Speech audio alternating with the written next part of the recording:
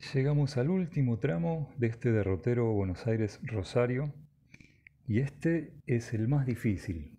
Ahora van a ver por qué. En realidad, de todo lo que hicimos hasta ahora no presentaba mayores dificultades por ninguna razón, digamos, por profundidad no teníamos problema, corrientes, si bien las corrientes en el Paraná son fuertes, tampoco había tanto problema. Vamos a zarpar de Villa Constitución. Acá estamos viendo el, el Club Náutico de Villa Constitución, prácticamente desierto, cuando fui estaba lleno de veleros, evidentemente ahora hay bastantes más veleros arriba en el varadero, tal vez por la falta de agua los hayan ido sacando. Acá se ve esta imagen y está seco, seco, no hay agua. Muy probablemente hoy no sea posible entrar ahí. Bueno, cuando se pueda, el que quiera ir podrá hacerlo salimos del náutico de Villa Constitución por este canal que es un pequeño brazo del río Paraná. Fíjense que este bracito es como que se cierra ahí, es una especie de pantano, hay muy poca agua, ¿no? Forma como una especie de laguna ahí. Bueno, entonces zarpamos del, del náutico de Villa Constitución. Vamos a tomar Pegaditos ahora sí, antes me había equivocado diciendo estribor. Cuando entramos por nuestro babor, pegados a nuestro babor está el hilo de agua. Ahora sí, pegados a nuestro estribor, digamos bien más cerca de la orilla, hay un caminito de cañas marcado con cañas, muy rudimentario, hasta encontrar esta curva del Paraná, donde ya vamos a retomar ¿sí? el canal principal del Paraná. Acá vemos la curva, tenemos que tomar esta que sale hacia el noreste, digamos nor-noreste. Por supuesto ahí tenemos todas las boyas. Ahora en el próximo video voy a mostrarles también la, esta zona con las cartitas, estas mini cartas que fui llevando, con las boyas y todo. Bueno, y acá el problema cuál es? Que vamos a tomar esta curva que es muy grande, fíjense que es una curva bastante cerrada. No hay manera de cortar camino por ahí porque ya vieron que ahí la entrada del club termina es un callejón sin salida, digamos, del río. Y tenemos que tomar esta curva que tiene una corriente fuertísima, una corriente muy fuerte que con motores chicos se hace muy difícil remontar el río. Eh, esto es el tramo más largo que me costó más tiempo porque justamente con la corriente en contra era muy difícil avanzar. Fueron horas, horas para pasar esta curva que como pueden ver no son muchos kilómetros, Después voy a dar exactamente los datos de cuántos kilómetros son para que sepan, pero es durísima la corriente que hay ahí. Igual que antes, vamos a ir enfilando de boya en boya del canal principal, ¿sí? por afuera del canal, pero enfilando las boyas. Podemos ir por el lado de, de estribor o por el lado de babor. Aquí tenemos, si se fijan, la desembocadura de un río que viene como más del norte, nor-noroeste, que es el río Pavón.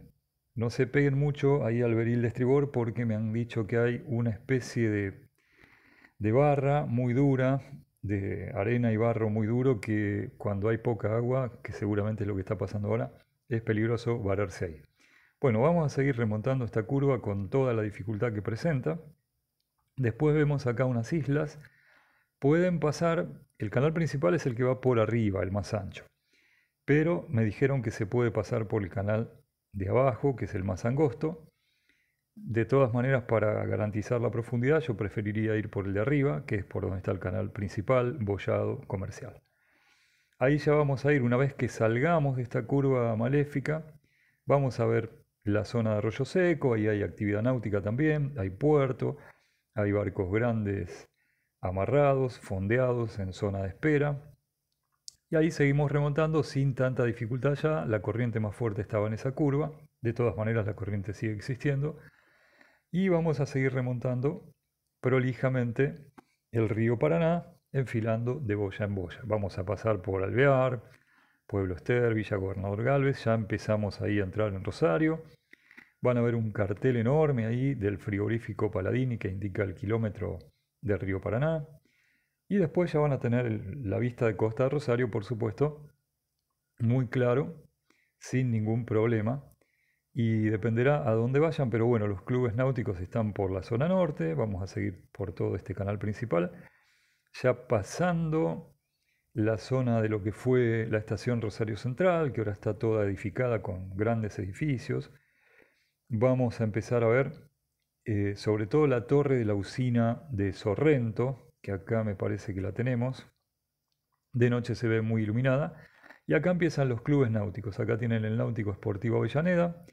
Lamentablemente hay que decir, no tiene balizas de noche, así que de noche no es recomendable entrar. Acá ven el Náutico Esportivo Avellaneda. Y después acá vienen una serie de clubes. Tienen el, el Club de Rosario Central, que tiene salida al río, por supuesto. Tiene un pequeño lugar para amarrar lanchas y demás. Su playa.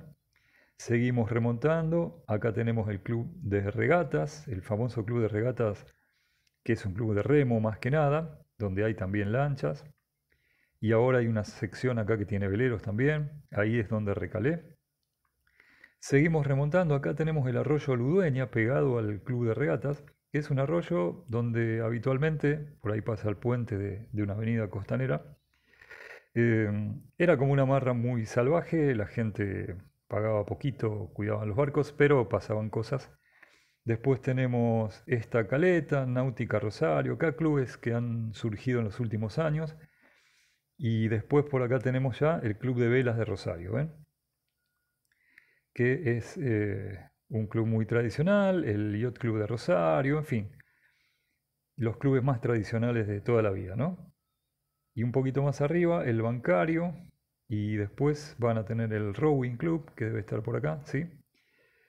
Acá hay otro, otro lugar de amarras, eh, bueno, y después guarderías y la cosa más tradicional de esta zona de playa de Rosario, de la playa Rambla Cataluña, la Florida y todo esto, donde se alquilan kayaks, tablas de windsurf, etc. Bueno, aquí terminaría el viaje, uno elegirá dónde amarrar. Si uno mira un poquito más para arriba, tienen ahí el puente Rosario Victoria, que por supuesto eh, muchos años atrás no estaba. Pero bueno, del lado del sur del puente tenemos todos los clubes y lugares de amarra. Y ahora voy a mostrar en el próximo video las cartas para que vean la zona abollada, digamos, el canal principal comercial, etc. Y esa famosa curva de Villa Constitución con sus kilómetros para que vean que no es mucha la distancia, pero se hace muy, muy pesado ir remontando esa corriente.